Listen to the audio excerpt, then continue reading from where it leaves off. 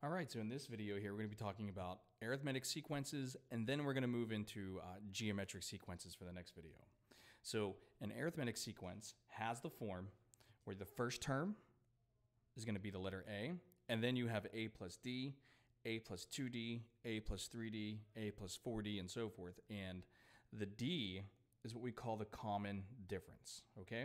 So the easiest way to kind of explain this here is by using the formula that we have below. So we do have a formula that will generate an arithmetic sequence for us. So let's go ahead and let's just generate some terms. So let's find the uh, first four terms of an arithmetic sequence. So arithmetic sequence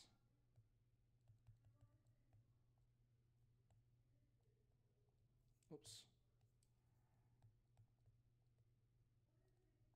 All right. If A equals 9, D equals 4. Okay? So let's go ahead, let's look at this. So we're going to use our formula. A sub n equals the first term plus n minus 1 times the common difference, which is going to be uh, D. So for us, excuse me, A1 is going to equal our first term, so that's going to be 9, plus 1 minus 1 times 4, which we know A1 is equal to 9. Now, I'll just draw a line. We're going to do A2. So A2 is going to equal A1, which is going to be 9 plus 2 minus 1 times 4. So A2 is going to be 9 plus 1 times 4, which is 13. Okay? Now, if we just keep doing this, A3 will equal A1 plus 3 minus 1 times 4. Well, we know A1 is 9. So this is going to be A3 equals 9 plus 2 times 4. 2 times 4 is 8. So A3 is going to be 9 plus 8, which is 17. and then the fourth one here is going to be 9 plus. Hopefully you can follow the pattern right now. So A4 is going to be 9 plus. Uh, 4 minus 1 is 3. So this is going to be 9 plus 12, which is 21. Okay? Now, what makes what we just have an arithmetic sequence, like in other words, if I just gave you the numbers 9, 13, 17, and 21, and I said, tell me what kind of sequence this is, or find the nth term for this, what you would notice here is that there is a common difference between 9 and 13. Now, think about what I'm saying, common difference. So if I were to take 13 minus 9, notice I get 4. If I were to take 17 minus 13, notice I get 4 again. If I were to take 21 minus 17, notice I get 4 again. So sometimes when you have a sequence of numbers and like in the previous section, let me go back to the previous section here. Okay. we'll scroll all the way up. So like here, we found that these were even numbers, two, four, six. Then uh, with this one, we had, you know, alternating signs, but it was one over n. Even here, one, three, five, seven, nine, those are, those are odd numbers. Well, sometimes you run into a situation where you have a sequence of numbers, but there is no readily uh, pattern that you can see very quickly. So when that happens, maybe look at the terms and say, okay, is there a common difference? Because if there's a common difference, we call this an arithmetic sequence. Okay, we call that an arithmetic sequence. And once you establish that you have an arithmetic sequence, I can say, okay, what is the 10th term in our sequence. So once you established that it was arithmetic, you can say, well, A10 is going to equal our first term, which is 9, times 10 minus 1 times 4. So A10 is going to equal 9 plus 9 times 4. A10 is going to equal 9 plus 9 times 4 is 36, which means A10 is going to equal 45. Okay? So for this next example here, we're going to keep it very similar to the previous, okay? Directions are going to be a little bit different. So we're going to determine the common difference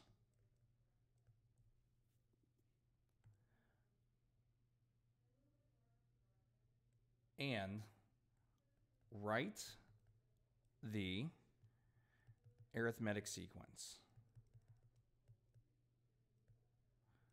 And then finally, find a 100. Okay? And here's our sequence right here. So we have 4, 10, 16, 22, and so forth. So since I'm telling you to find a common difference in the directions and I'm telling you this is an arithmetic sequence, this is to be really simple for us. All we have to do is just look at two numbers. 10 minus 4 is 6.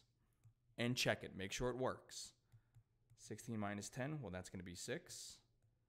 22 minus 16, that equals 6 as well. So we know our common difference here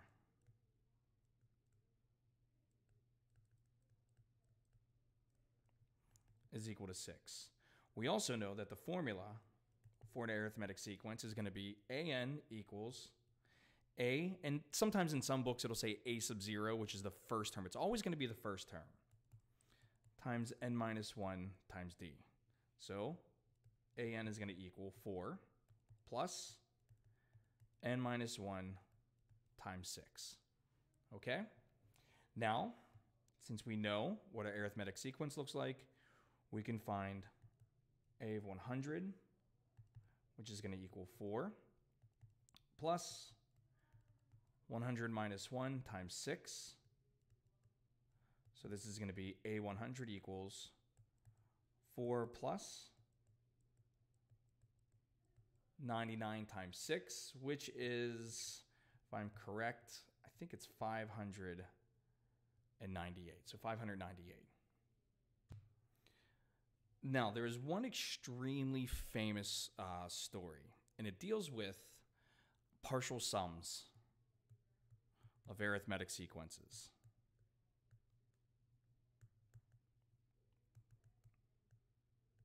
So let me just write this out. All right, now here's the story.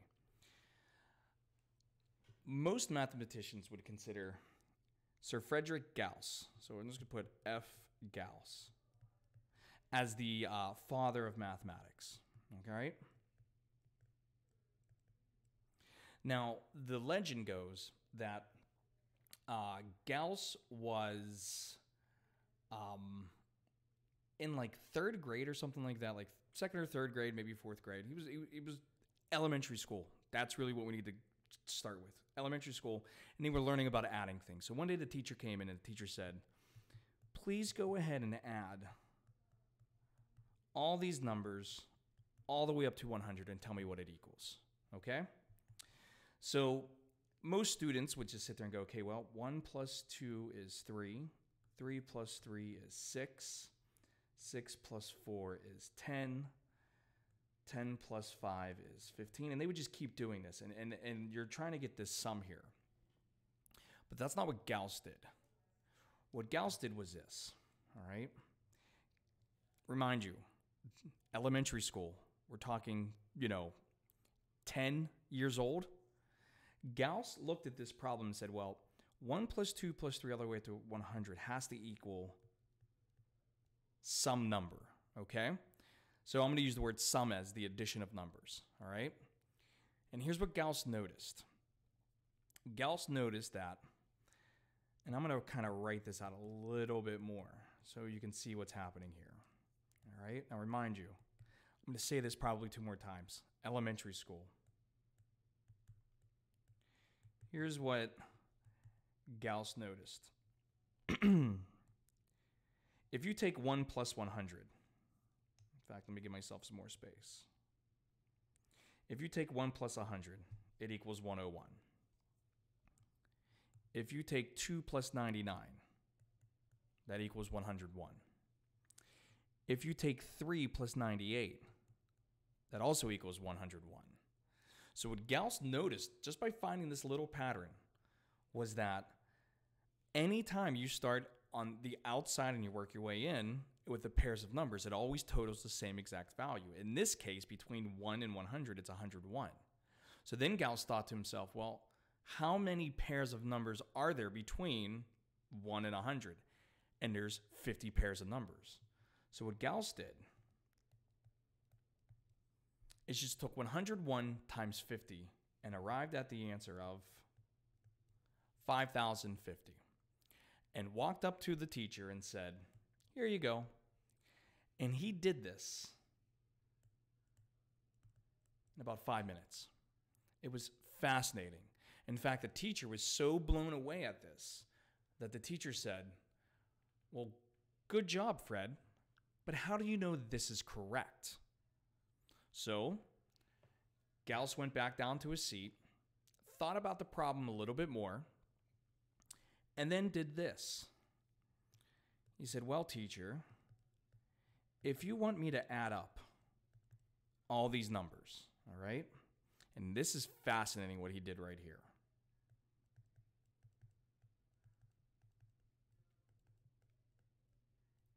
See, he knew if you wanted to stop at 100, then the previous number is going to be 100 minus 1, which is 99. And then the previous number uh, based off that would be 100 minus 2, which is 98. So what Gauss said is, well, I'm going to stop at any number you want me to stop at. We're going to call it the letter n. And then he wrote this backwards. Watch.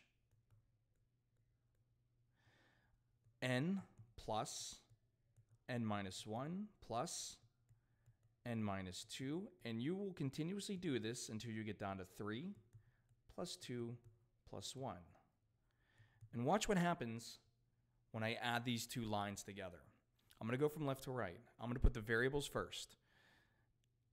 For the first, you get n plus 1.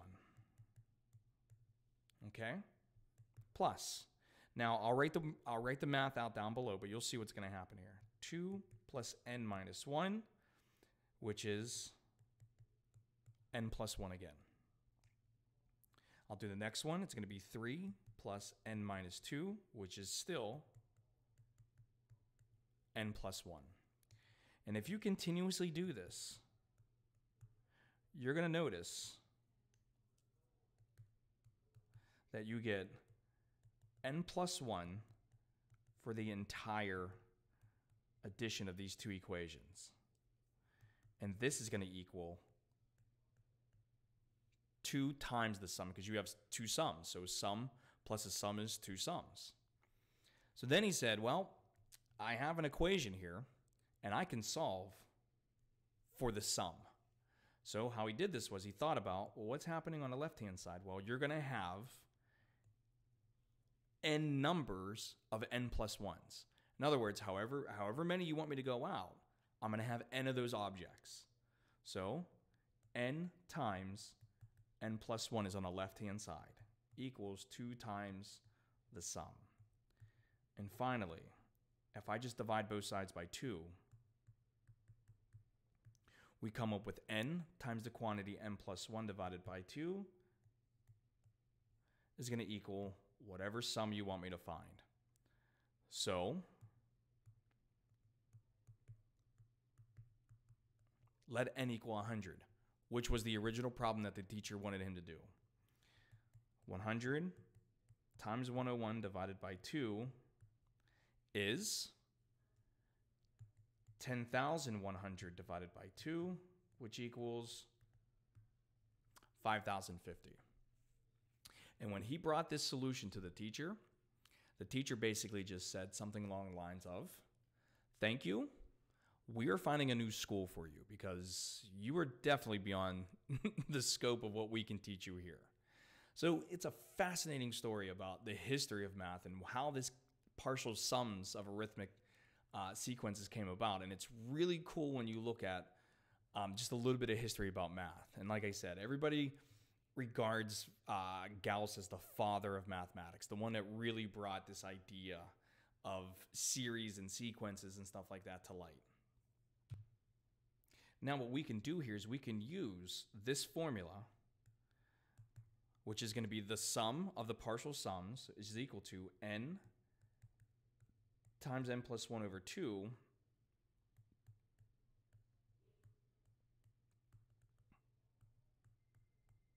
So let me be more specific here. This is the sum of partial sums of an arithmetic sequence. We can use this to our advantage to find the sum of any arithmetic sequence. It's just we got to be clever about how we do this. So let me go ahead and just write down an example here for us. So we want to find the partial sum of the following arithmetic sequence. Now, if you notice, this sequence is different from the one that we looked at previously. The one that we looked at previously with the history of Gauss, the numbers were 1, 2, 3, 4, 5, 6, and so forth. They were in order. However, this one is not in order. Notice you have 3, 7, 11, 15. In other words, we're skipping some. So the first thing that we're going to want to do here is we're going to want to find that common difference. So find D, okay? Now for us, it's going to be very simple. So I'm just going to go ahead and write this out. And I'm just going to look at the first two terms and say, okay, well, 7 minus 3 is 4. Next two terms, 11 minus 7, that's 4 again. 15 minus 11, well, that's 4 again. So I'm pretty confident that my common difference is 4. Sorry, I don't know why I wrote 5 there. Now, we also know that our very first term is equal to 3. Therefore, Oh, sorry, I was using. Here, you know what? I'll show you this since we're getting into more advanced mathematics. This little uh, three dot thing is called therefore. So, therefore, our arithmetic sequence that we have here is going to be equal to 3 plus 4 times n minus 1. And we're going to use this to our advantage. The problem is if you look at our sequence from above, so let me scroll down a little bit, and I'm going to put a box around it. What we don't know is how many terms we actually have. Because remember, if I scroll back a little bit more, if I scroll back a little bit more, this formula gives us the sum of partial sums of our arithmetic sequence, okay? And the thing is, that letter N tells me how many terms we have. All right, that tells me how many terms. So, since we have 3, 7, 11, 15, in other words, we know we're missing numbers, we need to figure out how many terms are in this sequence. So that's our next move. So our next move, second, is how many terms